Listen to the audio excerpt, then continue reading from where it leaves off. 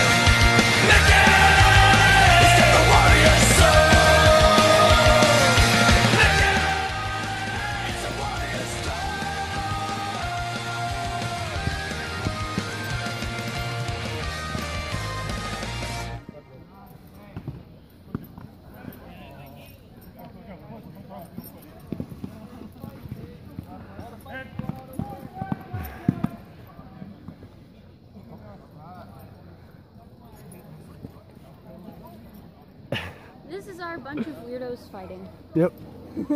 That's my boy! So that's why you're videotaping.